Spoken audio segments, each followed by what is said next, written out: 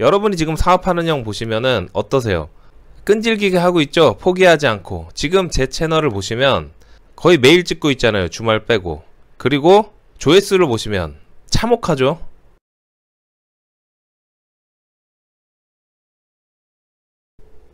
짠! 여러분 안녕하세요. 사업하는 형입니다. 네, 오늘 2019년 12월 26일 목요일 아침 7시 반입니다. 여러분, 크리스마스 잘 보내셨나요? 저는 요번에 크리스마스 때 드디어 구독자가 1만 명을 넘었습니다. 감사합니다, 여러분. 열심히 살다 보니 이런 날이 오네요. 여러분, 근데 제가 1만 명 돼서 너무 좋고 기쁜데 영상 수를 봤더니 350개가 넘어요. 네, 350개의 영상을 찍고 1만 명을 달성했습니다. 어떻게 보면 좀 오래 걸린 듯한 그런 게 있지만, 네, 그래도 언제가 또 영상 하나 빵 터지면 금방 쭉쭉 올라갈 거라고 생각하고 있습니다. 그래서 제가 오늘은 여러분한테 이렇게 목표를 달성할 수 있는 방법, 지치지 않고 포기하지 않고 하는 방법, 네, 그거를 말씀드리려고 합니다.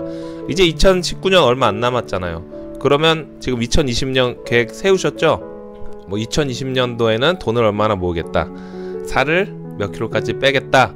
책을 몇 권까지 읽겠다. 뭐 이렇게 많은 계획을 하셨을 거예요. 그래서 제가 오늘 여러분한테 말씀드릴 내용은 목표를 달성할 수 있는 방법. 네, 거기에 대해서 말씀드리겠습니다. 보시기 전에 구독과 좋아요, 알람 설정 부탁드리겠습니다. 네, 여러분. 저는 2019년도에 목표를 3개를 잡았어요. 그 중 하나가 이제 유튜버였습니다. 그런데 제가 포기하지 않고 2019년도에도 유튜브를 매일 이렇게 방송할 수 있었던 이유는 뭐냐? 약간 관점을 다르게 한 거예요.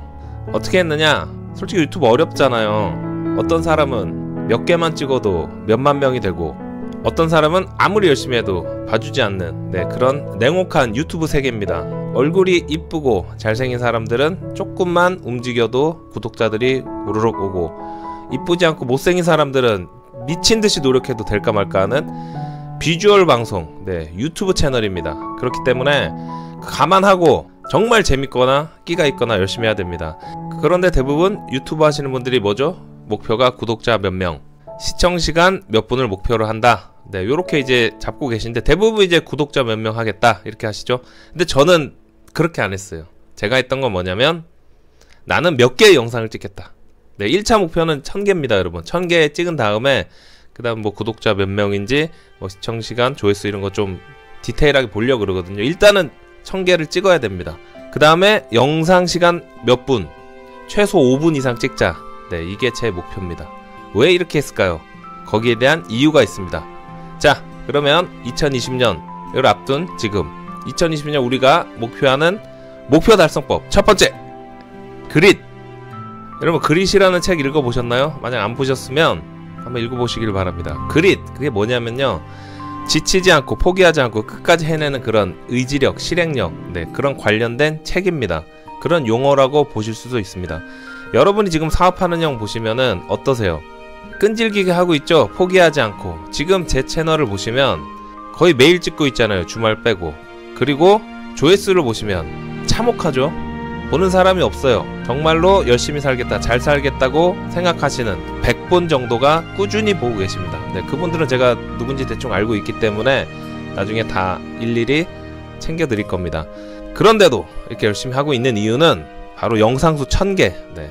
1차 목표는 1000개. 그걸 찍기 위해서 신경 쓰지 않는 겁니다. 왜? 포기할까봐. 열심히 찍어서 올렸는데 보는 사람 별로 없어요. 댓글도 없어. 포기해야겠죠? 그런데 그렇지 않아요. 저는 아 5분 이상 찍자. 그 다음에 찍은 다음에 어떻게 해요? 내일 거 생각하는 거예요. 내일 뭐 찍지?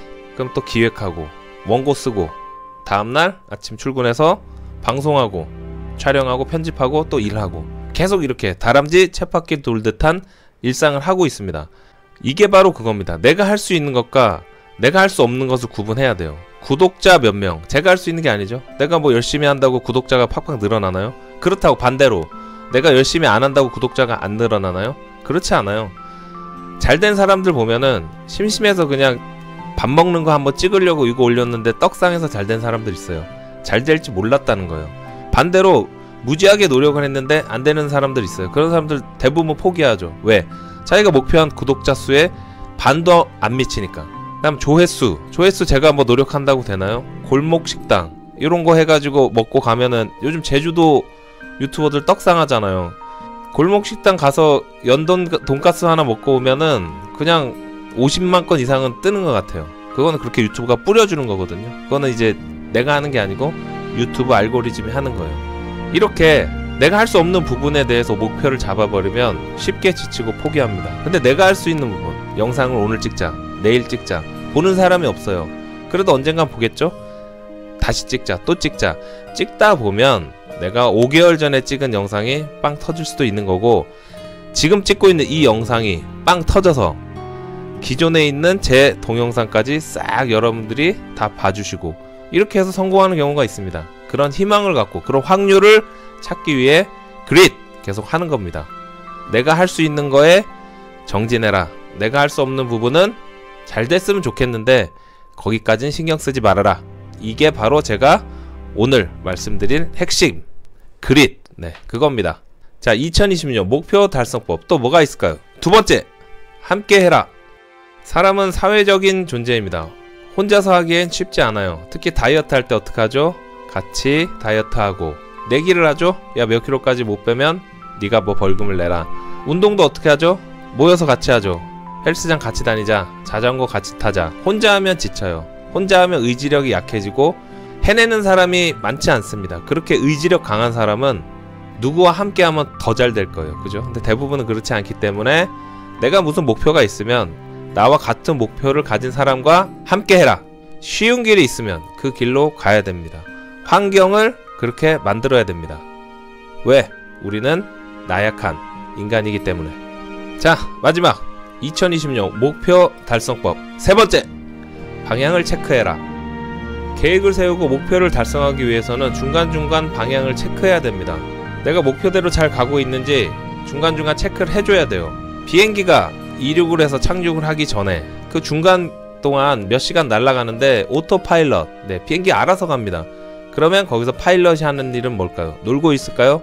잘까요? 아닙니다. 비행기가 잘 가고 있는지 방향을 체크하는 겁니다. 고도를 체크하는 겁니다. 그게 굉장히 중요한 겁니다. 인생에 있어서 내가 원하는 목표를 확고하게 이루기 위해서는 파일럿의 역할, 방향 체크를 수시로 해줘야 됩니다. 예를 들면 내가 이제 다이어트 하는 게 목표예요. 살을 뺐어. 요요 현상이 오잖아요. 그걸 막기 위해서 어떻게 해야 돼요? 계속 몸무게를 체크하고 체지방을 체크하고 내가 식단이 잘 되고 있는지 체크를 해야 됩니다. 그렇지 않으면 어느 순간 확 쪄 있어요. 여러분 요요 오신 분들 알죠? 한 번에 확 쪄요. 중간 쪽쪽쪽 조금씩 찌는 게 아니고 독서도 마찬가지예요. 내가 일주일에 두 권에서 한 달에 2, 4, 8, 네, 8권을 읽겠다 했는데 뭐 그날 바빴어 바쁘고 뭐 모임도 많고 해가지고 못 읽었어. 그러면 어느 순간 책을 안 읽고 있는 내 자신을 보게 될 거예요. 근데 중간 방향 체크라는 거예요. 야 두 권씩 읽기로 했는데 한 권도 못 읽었어. 그러면 이제 방향 체크를 해야죠. 야 두 권은 무리다. 그러면 한 권으로 줄여도 돼요. 목표는 두 권이지만 어쩔 수 없잖아요. 근데 읽는 게 목표이기 때문에 네, 한 권을 줄이더라도 그렇게 방향 체크해서 읽어야 됩니다. 왜? 인간은 나약한 존재이기 때문에 체크해서 어떻게든 끌고 나가야 됩니다. 거기에 좌절하고 그래 나는 안 되는 거야. 내가 무슨 두 권을 읽어. 그래 나는 안 되는 거야. 내가 무슨 다이어트야. 그렇게 하면 평생 성공할 수 없어요. 우리는 살 날이 더 많아요. 그래서 이걸 몸에 익혀야 돼요. 방향 체크를 통해 목표 달성을 조금씩 이루다 보면 그게 이제 몸에 배기 때문에 항상 더 나은 사람이 되는 겁니다.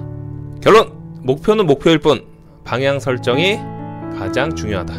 네, 이렇게 결론 내면서 서울 비가 오고 있습니다. 네, 추적추적 비가 내리고 있는데 내일은 또 엘바리 좋아하는 그날이죠. 그리고 오늘은 2019년 마지막 목요일입니다. 12월에도 마지막 목요일입니다.